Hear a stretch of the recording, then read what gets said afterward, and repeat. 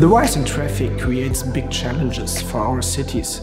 The roads needs to be more effective, more safe and sustainable in an easy way.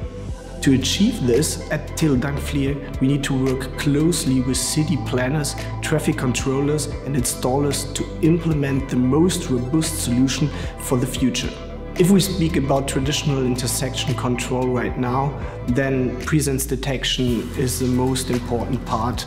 In the future, traffic adaptive systems will need much more information from sensors where intersections are speaking to each other and they exchange the informations about the traffic flow.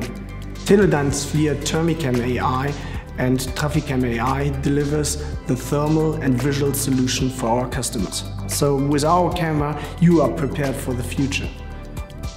The TrafiCam AI is a solution for customers who are looking more for visual cameras with HD resolution.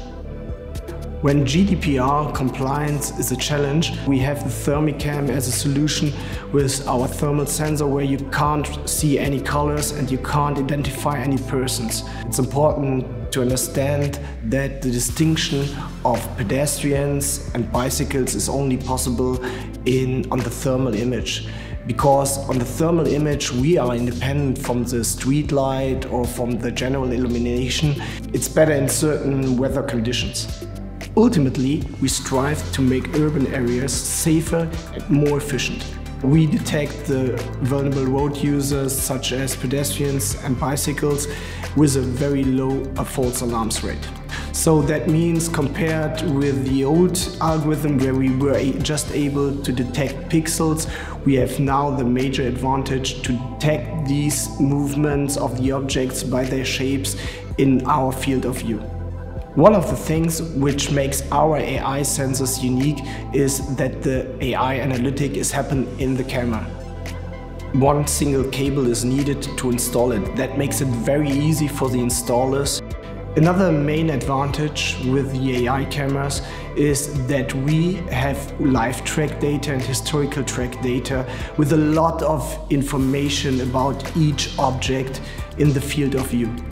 Having the AI solution provides the customer also a huge amount of data which he can use in his smart cities. If the customer wants to build a digital twin of his intersection, he can use our AI solution. They can create reports such as a heat map of the intersection, where are pedestrians or vulnerable road users close to driving cars. If a customer wants to have a new class, we can add a new class in our AI model such as a scooter or a rickshaw. A very important aspect is there that we keep control what we are learning. Each scenario can be reproduced afterwards. Having corrective actions on open source models is nearly impossible. You never know who has trained what at which time. We keep control about this learning process.